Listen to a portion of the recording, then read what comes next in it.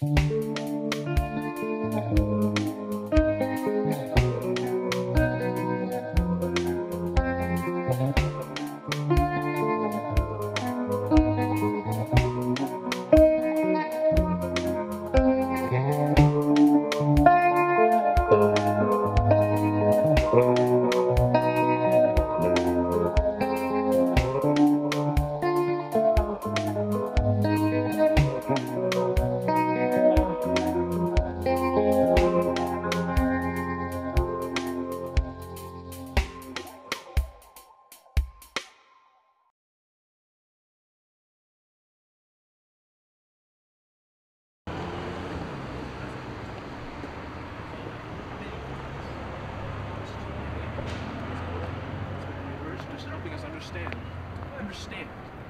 phenomena that goes on in the cosmos. Well, hello. I am Professor Isaac Cabot. I teach at the University of uh, Dust, and um, I'm here with my intern today, Miss Amanda. She is um, be my pupil for the day, listening to my lectures about dust in the universe. So, um,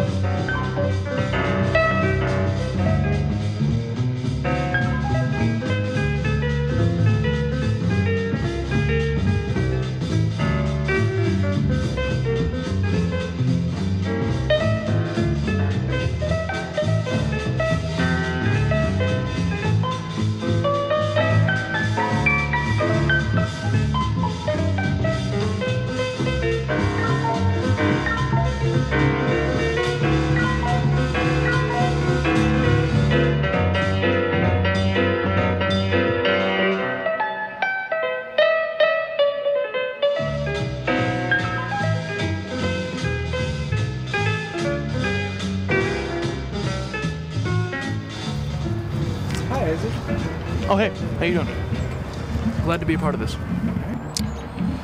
Well, dust bunnies. Well, they um, they are man-made, of course. Um, they they are from the exfoliating skin and hair of humans um, and animals, maybe. Um, various various origins, and um, the dust f- floats around, you know, from place to place, saying hello to other dust bunnies. Hello, I am Dust. How are you doing? Oh, very good. They have little dust communions, you know, little uh, circles of dust, and they they um, move, they migrate, they about the mesas of your house, and that's that's basically the summation of dust.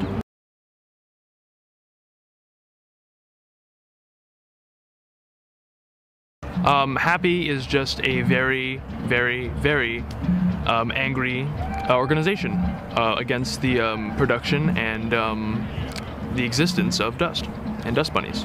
Um, I, th- I think that they are just they do not they lack the understanding that it takes to understand the dust bunny, um, and and the dust particle.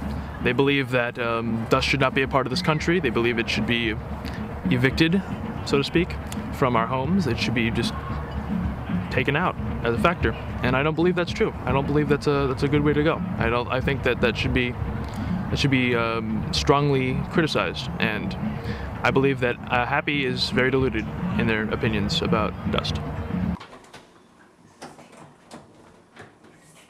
My name is Laura Adler, and I am a homemaker, and I am president of Happy. Well, really, they are a pain in the ass. You dust, you wax, you vacuum, you do everything, and they're still there. It's necessary to get rid of them because they destroy the value of a home.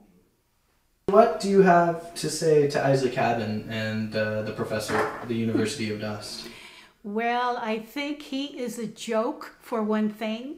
He is homeless for one thing. He doesn't have a home. He doesn't know about dust bunnies. He lives in the park. How can he possibly criticize us for doing what we are doing? Well, at, at the moment, I, I live behind that tree over there. Um, you, you could say I'm I'm homeless, but that that's such an ugly word to throw around. I mean, I'm I live somewhere, but I don't I don't live in a house with with walls and a door. I don't have that or a kitchen for that matter. I have I have a bush. I have a bush and a tree. How I am I am houseless but not homeless. You know, home is where you consider to be more comfortable, where your environment is most friendly. It's one of my best friends. It is always here and always reliable for lots of tree activities. It's very good, very good tree. If the if the activists at Happy lived the way I live in a bush and a tree, then they wouldn't have this this supposed animosity for the um, dust bunny. Um, I believe that if they lived like that, they would um, they would miss them. They would miss them dearly, and they would realize how much of a treasure they are. Uh, just add to the environment and add to the mood of everyone.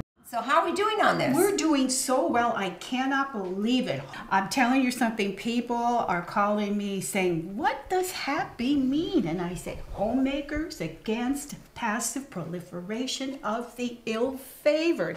And they say, Could you possibly repeat that? And I have to repeat it again and again and again so that they have it clear. But anyhow, and our logo, that is the other thing. We've got to think of something creative for hmm. this. Something creative.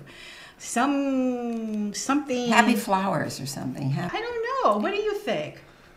Well, I don't know. We'll what- have what to. Dust bunnies. I'm thinking dust bunnies with little horns or something Oh, evil, something that really Something evil. really Oh. demonizes them. You know, really oh, makes Oh, them look as of wicked us, as they we're thinking of them. That's right. Oh, mm. Right. but other otherwise, in regards to your question, we're doing extremely Okay, well. okay. Extremely well. I've got petitions, so don't give me any more. Okay? No, I'm- won't give you any I'm really busy. I you know, that. I know that. And I have this down here. Do not give Mary Louise more petitions. All right. We are set. All right, thanks. We've got it together. That's good. Yeah, it's The great. media's getting a hold of the media. Right, right, right. I think I see Tommy coming in here. Oh, Tommy, hi, honey. Come on in. Eh, eh, eh, Me, the ladies, come on in. Hi, Happy. Tommy, what's wrong with you? Oh my God, Tommy, you're not drunk again. Tommy, get into the living room. Get, you are embarrassing me. How many times do I have to tell you? You embarrass me in front of all of the ladies of my group. Now, I have had it with oh, you. come on. I want you to stop this insanity. Cares about your drinking stupid happy group? Maybe we should keep lot of working. people on Nobody cares about dust bunnies. I think I Yes, should leave yes, too. yes. I'm If only you really pay uncomfortable. attention to what I've been telling you. Nobody cares about dust bunnies. I'm so mad that I can't even cope with you. I just can't do it. I can't. You have to either shape up or ship out, Tommy. You're a, you're a, a leader of a group that's against having dust bunnies in your home. Who cares? the world cares. Nobody cares about yes, dust yes, bunnies. Yes, yes. Oh, it could change the world. What is wrong with you? You don't understand. This is my final word. You go upstairs to your room and you are grounded You- for a month. You can't. You understand me? You can't. A month. You go, can't, Tommy. You can't ground me. My Go. dad's not even here. I don't care. I'm taking care of this. Was going up to my room anyway. Um, Happy is just a rogue, rogue activist group that is out there just to destroy dust bunnies, and it won't just stop at dust bunnies. They, they want to they want to rid the world of anything that is different from what they are used to. They they are just afraid. They are afraid of the power of dust.